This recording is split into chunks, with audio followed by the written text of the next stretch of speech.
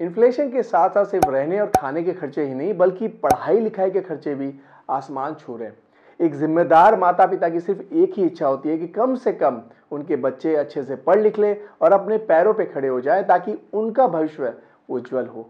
But जिस तरह से एजुकेशन सिस्टम महँगा होते जा रहा है पेरेंट्स को अच्छे प्लान में बच्चों के लिए इन्वेस्टमेंट करना बहुत ज़रूरी है।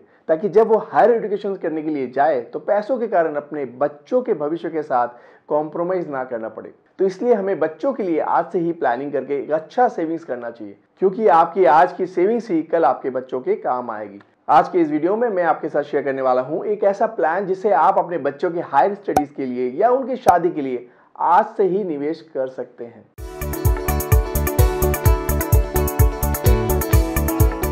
हेलो नमस्कार welcome to the brand new video मैं हूँ अमित राठी, आपका अपना सर्टिफाइड फाइनेंशियल प्लानर सबसे पहले ये जानते हैं कि हमें निवेश की शुरुआत कब करनी चाहिए।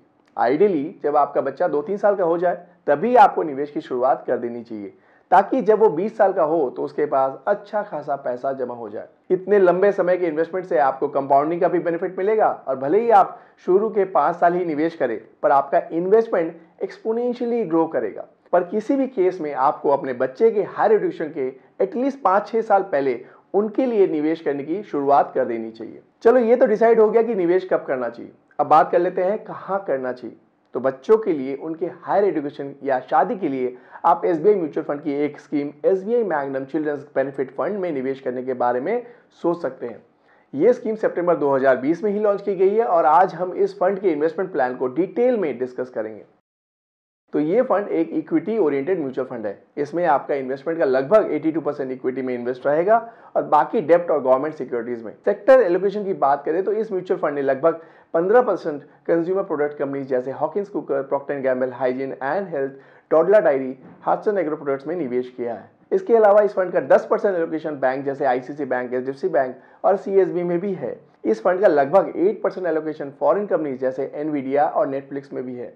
मार्केट कैप के हिसाब से देखें तो इस फंड का लगभग 24 percent investment small cap companies में है। इस फंड को मिस्टर आर श्रीनिवासन और मिस्टर दिनेश अहोजा जी मैनेज कर रहे हैं। Mister R Srinivasan is M com and M F M और एस बी आई एमसी को ज्वाइन करने से पहले वो मोतीलाल ओसवाल में भी काम कर चुके हैं और वो एस बी आई के लिए और भी दस स्कीम्स को मैनेज करते हैं। Mister Dinesh Ahuja S finance है और S B I M C को ज्वाइन करने से पहले उन्होंने L N T investment Reliance asset management जैसी कंपनीज़ के साथ भी काम किया है।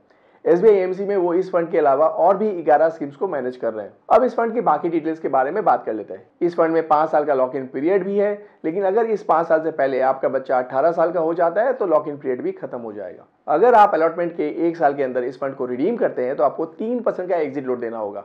अगर दो साल में रिडीम करते हैं तो दो परसेंट का एग्जिट लोड देना पड़ेगा और तीन साल में रिडीम करने पर एक परसेंट का एग्जिट लोड देना होगा। तीन साल के बाद रिडीम करने पर कोई एग्जिट लोड नहीं लगेगा। क्योंकि इसमें पाँच साल का लॉक इन है तो ये एग्जिट लोड आपको तभी लगेगा जब इन्वेस्ट करने के पाँच साल के अंदर आपका बच्चा अठारह साल का हो जाता है। इस फंड का ऑब्जेक्टिव आपके बच्चे के फ्यूचर के लिए निवेश करना है। इसलिए आपको इस फंड में अकाउंट भी अपने बच्चे के नाम पर ही खुलवाना होगा। पर क्योंकि आपका बच्चा अभी माइनर है तो पेरेंट या लीगल गार्जियन को इसे ऑपरेट करना होगा और बच्चे के ब्याह में वो इस फंड में निवेश कर पाएँगे। इस फंड में आप मिनिमम पाँच हज़ार रुपए से लमसम इन्वेस्टमेंट और एडिशनल इन्वेस्टमेंट आप एक हज़ार रुपए से कर सकते हैं। आप इस फंड में मिनिमम पाँच सौ रुपए से एसआईपी की शुरुआत भी कर सकते हैं। अब सबसे इंपॉर्टेंट इस फंड का रिटर्न के बारे में बात करें तो इस फंड ने पिछले साल लगभग चौदह का एनुअलाइज रिटर्न दिया है, जबकि इस फंड का कैटेगरी का एवरेज सिर्फ़ पाँच ही था। लास्टली टैक्सेशन की बात करते हैं तो ये एक इक्विटी स्कीम है, इसलिए इस फंड पर इक्विटी टैक्सेशन एप्लीकेबल है। क्योंकि इसमें पाँच साल का लॉक इन पीरियड है तो इसके यूनिट सेल करने पर long term capital gain tax pay करना होगा। एक लाख तक का कैपिटल गेन पर कोई टैक्स नहीं लगेगा, और एक लाख के ऊपर कैपिटल गेन पर आपको दस का टैक्स भरना होगा। अब बात करते हैं कि क्या आपको इस फंड में निवेश करना चाहिए। इस फंड का ज़्यादातर एलोकेशन स्मॉल कैप और मिड कैप कंपनीज़ में है, जो कि फंड मैनेजर के हिसाब से मल्टी बैगर्स बन सकते हैं। तो ज़ाहिर सी बात है, आपका investment time frame long term होना चाहिए। इस फंड को एग्रेसिव हाइब्रिड कैटेगरी में रखा गया। मतलब इस फंड का लगभग 70 से 80 परसेंट पैसा हमेशा इक्विटी में रहेगा। तो इसमें रिस्क भी ज़्यादा है। आपको इस फंड में तभी निवेश करना चाहिए अगर आपका रिस्क एपेटाइट हाई है और डेली वॉलिटिलिटी से आपको कोई इफ़ेक्ट नहीं होता है। इसलिए अगर आप इस फंड में निवेश कर रहे हैं तो आपको एटलीस्ट सात से आठ साल तक का सोच कर ही निवेश करना चाहिए। तो ये थी मेरी analysis S B I Magnum children benefit investment plan के बारे में। अगर आप इस फंड में निवेश करना चाहते हैं या अपना पोर्टफोलियो रिव्यू करवाना चाहते हैं तो आप हमारे एसेट गुरु से नीचे दिए नंबर पर बात कर सकते हैं या हमें व्हाट्सअप भी कर सकते हैं। अगर आपको मेरी एनालिसिस अच्छी लगी तो प्लीज़ लाइक करें और वीडियो को शेयर करें अपने दोस्तों के साथ। चैनल को सब्सक्राइब नहीं किया तो जल्दी करें। मिलते हैं नेक्स्ट वीडियो में with new investment knowledge and strategy के साथ। तब तक इस वीडियो को देखने के लिए हमारी तरफ़ से आपको बहुत बहुत धन्यवाद। और हाँ इन्वेस्ट करें, खुश रहें।